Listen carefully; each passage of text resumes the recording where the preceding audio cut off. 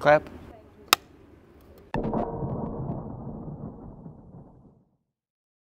I have a, a really uh, great interest in the sort of role that artificial intelligence will take in our society uh, and whether it will be a sort of new class of slaves.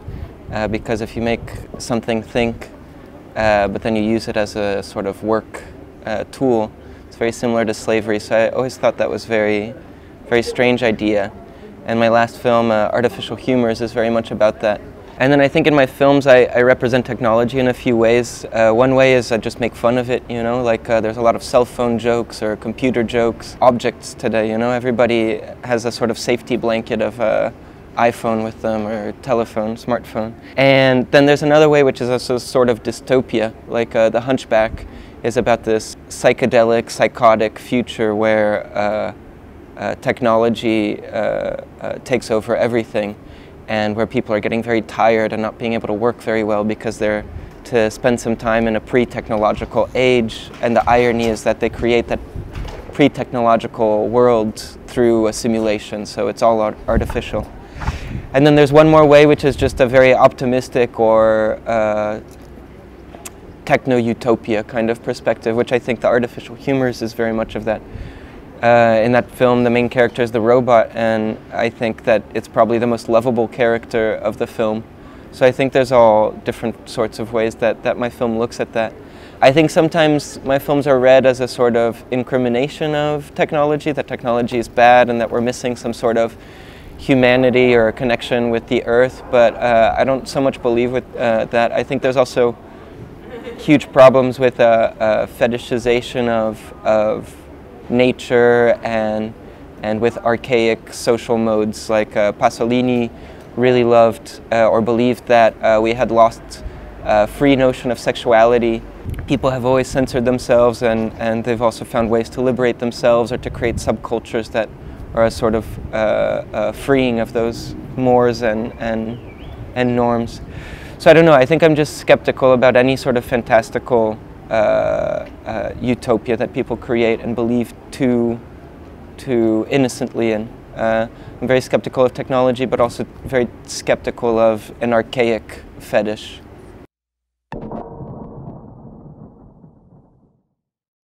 All in all, if you uh, look at the statistics of uh, quality of life, which there's some metrics that economists use, to judge it as supposedly the entire world. The poorest people and the richest people are living better than they were a thousand years ago.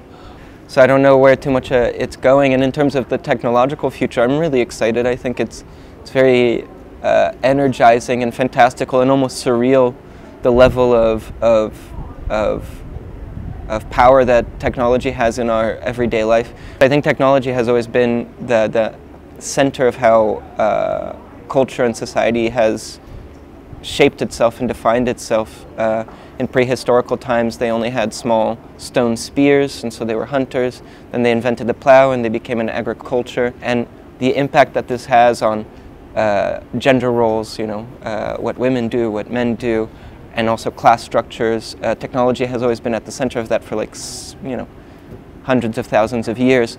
Many people have access to uh, a lot of educational material that's online uh, what people call the democratization of culture through YouTube and, and Wikipedia and the internet, uh, and the impact that we've seen like in the Arab Spring, uh, where uh, in Egypt a bunch of Facebook groups managed to organize thousands of people to come and protest against the government. That's an amazing result of technology, but then you see what happened directly afterwards and a military dictator took over Egypt shortly after, so it's positive, but did it change anything? I'm not quite sure. Um, so I don't know, I'm just skeptical.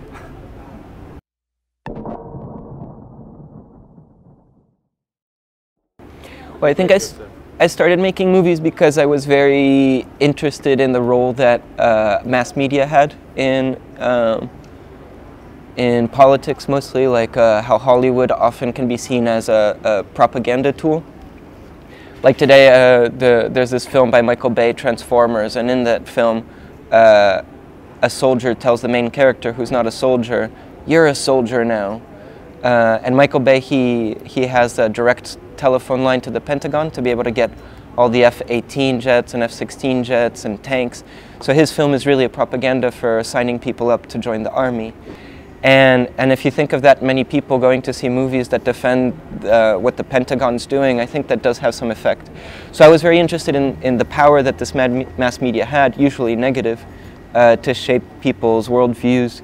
Uh, and I wanted to play with that because for me, I started as a painter uh, and I felt like I was uh, very isolated from having any sort of social impact. Uh, but then ironically, I make films which are, as I think, restricted as my paintings were. They are seen by they're very, they're localized in a, in a peripheral circuit, definitely not a mass media circuit.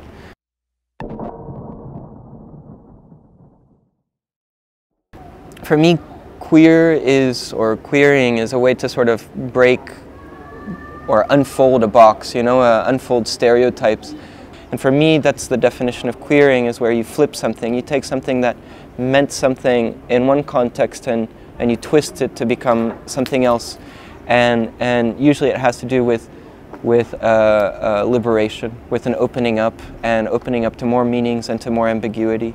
I mean, I'm interested uh, very abstractly in, in new visions. I think oftentimes, uh, yeah, it's it's programs and festivals uh, that have these sorts of titles are for films like mine, which are films that are a bit outside of, of the boundaries of mainstream cinema, uh, and that are doing this queering uh, this unfolding of, of stereotypes and pushing the boundary somewhere. Whether this is actually all our fantasy, uh, there's a great text by uh, art historian and theorist uh, Rosalind Krauss, which is called uh, uh,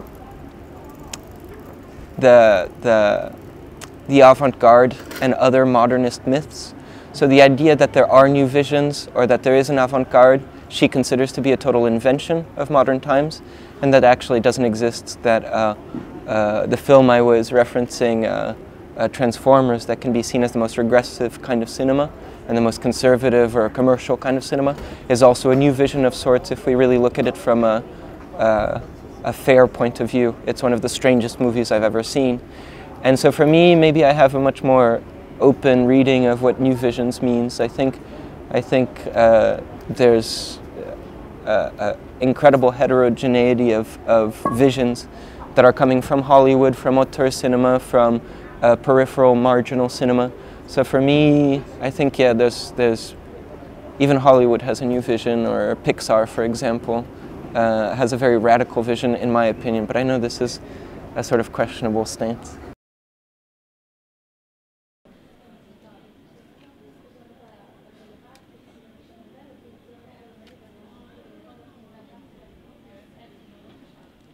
Yeah, is it? Yeah. I guess director. I guess, you guess. Another thing, can you show it like... Yeah, of course.